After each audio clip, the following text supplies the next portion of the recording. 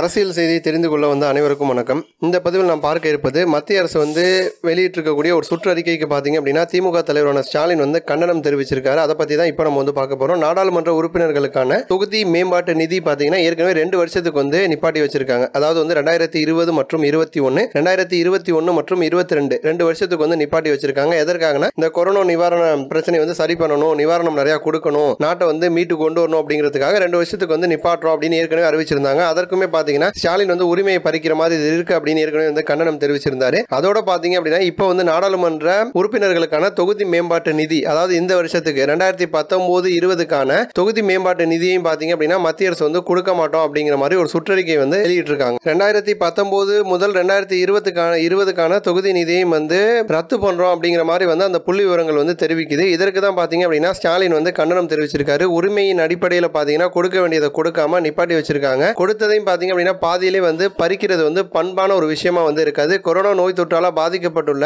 இந்தியாவுடைய பொருளாதாரத்தை சீர் செய்யறதுக்கோ நெருக்கடி சூழ்ந்துள்ள மக்களுக்கு வந்து நிவாரணம் கொடுக்கறதுக்கோ தயாரா இல்லாத மத்திய அரசு இப்படி மக்கள் பிரதிநிதிகளுக்குரிய உரிமைகளையும் வந்து பறிச்சு மூணு வருஷ தொகுதி மேம்பாட்டு நிதியை நிறுத்துறது அப்படிங்கிறது வேதனைக்குரிய விஷயமா மட்டும் இல்லாம மக்கள் பிரதிநிதிகளை வந்து அவமதிக்கக்கூடிய ஒரு செயலாகவும் வந்து இருக்கு. உச்சநீதிமன்றமே வந்து அங்கீகரித்துள்ள தொகுதி மேம்பாட்டு நிதியை இப்படி நிறுத்துவது கொரோனா பணியில மத்திய அரசுக்கு வந்து போதுமான ஆர்வம் இல்லையோ அப்படிங்கிற ஒரு ஐயப்பாடு தான் வந்து எழுது அப்படின்னு ஸ்டாலின் வந்து அறிக்கையில் வந்து சொல்லியிருக்காரு. மேலும் வந்து ஸ்டாலின் வந்து என்ன சொல்லியிருக்காரு அப்படின்னா எதிர்க்கட்சி நாடாளுமன்ற உறுப்பினர்கள் வந்து அவங்களுடைய தொகுதி மக்களுக்கு தேவைப்படும் எந்த ஒரு பணியையும் வந்து செஞ்சிடக்கூடாது அப்படிங்கிற ஒரு உள்நோக்கத்தோட தான் பார்த்தீங்கன்னா மத்திய பாஜக அரசு வந்து நடந்துக்கிறாங்க. மக்களாட்சி தத்துவத்துக்கும் நாடாளுமன்ற ஜனநாயகத்திற்கும் மாறா இது வந்து இருக்கு. பாஜக நாடாளுமன்ற உறுப்பினர்களே கூட இந்த ஒரு முடிவை வந்து ஏத்துக்கவும் முடியாம மெல்லவும் முடியாம விழுங்கவும் முடியாம மௌனமா வந்து வேதனையோட தான் வந்து இருந்துட்டு இருக்காங்க ஆகவே ரெண்டாயிரத்தி பத்தொன்பது இருபதாம் ஆண்டுக்கான நாடாளுமன்ற தொகுதி மேம்பாட்டு நிதியை நிறுத்தி மக்களுக்கு வந்து துரோகம் இழைக்கக்கூடிய ஒரு சுற்றறிக்கையை மட்டும் இல்லாமல் ஏற்கனவே ரெண்டு ஆண்டுகளுக்கு வந்து நிறுத்தி வைக்கப்பட்டுள்ள உத்தரவையும் வந்து திரும்ப பெறணும் அப்படின்னு நான் வந்து மத்திய அரசை வந்து வலியுறுத்தி கேட்டுக்கிறேன் அப்படின்னு ஸ்டாலின் பார்த்தீங்க அப்படின்னா அவருடைய அறிக்கையில் வந்து தெரிவிச்சிருக்காரு. ஸோ மூணு வருஷத்துக்கு வந்து நிதி கிடையாது அப்படின்னு சென்ட்ரல் கவர்மெண்ட் வந்து சொல்லியிருக்காங்க. இந்த விஷயத்தை பற்றி உங்களுடைய கருத்தை வந்து கமெண்ட்ல லீவ் பண்ணுங்க. இது போன்ற இன்னும் பல அரசியல் சம்பந்தமான செய்திகளை வந்து நீங்க தெரிஞ்சுக்கணும் அப்படின்னா